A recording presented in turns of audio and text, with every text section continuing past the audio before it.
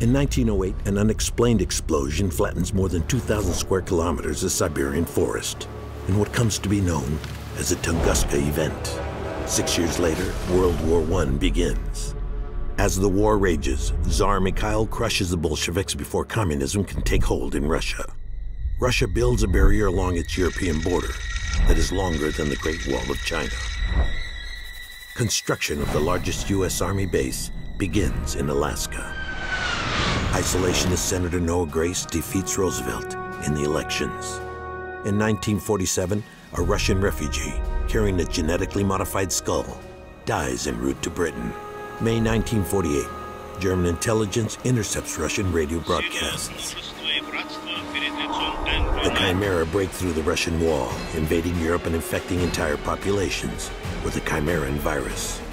After just four weeks, the continent has fallen the Chimera tunnel under the English Channel. British intelligence discover they're unearthing a network of giant towers. Their purpose and age unknown. In a desperate raid, joint British and American forces destroy the massive London Tower, causing death to all the Chimera on British soil.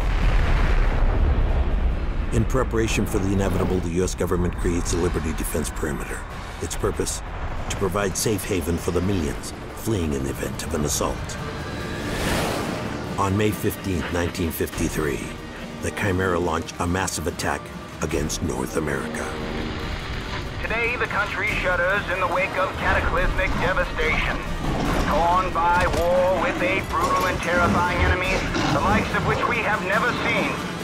This struggle for the very survival of mankind, this struggle, ladies and gentlemen, may now be forever lost.